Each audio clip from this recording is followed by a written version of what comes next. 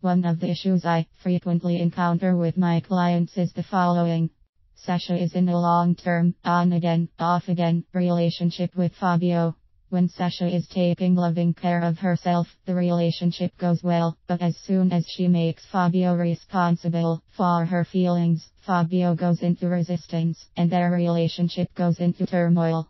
Sasha comes from parents who were judgmental toward her and not emotionally attentive to her. She tends to treat herself the same way her parents treated her, judging herself and abandoning her feelings. She then expects Fabio to treat her the way she wanted her parents to treat her and gets angry and blaming toward him when he doesn't. He retreats from her anger and blame and she then breaks up with him, hoping to find a man who will treat her better. After a few weeks or a few months, they get back together and the cycle starts all over.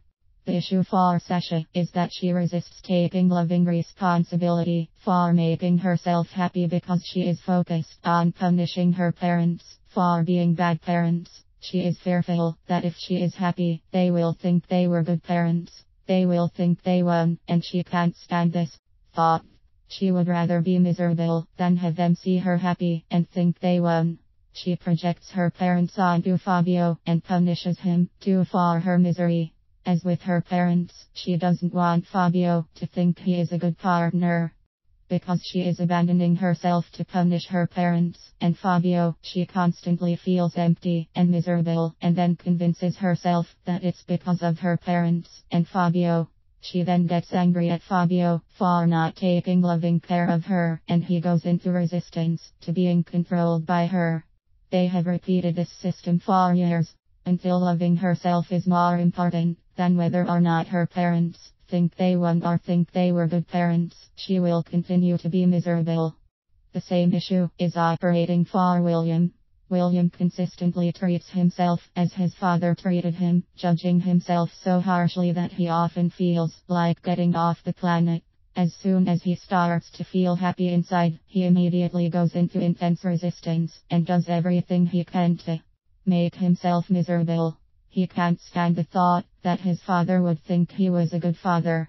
Like Sasha, he would rather be miserable than run the risk that his father would take credit for his happiness. If you find yourself often feeling unhappy, check in to see if you are resisting taking responsibility for making yourself happy to punish your parents or someone else. If you consistently find yourself abandoning yourself with your self judgments, or turning to various addictions, or making someone else responsible for your feelings. Be honest with yourself.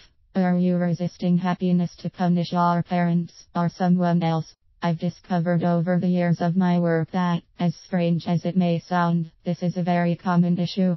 People can stay stuck their whole lives, even after their parents die, resisting happiness to punish their parents, their siblings, their caregivers, or their partner. Most of the time they. Is this you? If it is, be aware that you can change your mind anytime you want. You can decide that it's more important to be happy than to control whether or not your parents think they were good parents, or whether or not they think they want and are in control of you.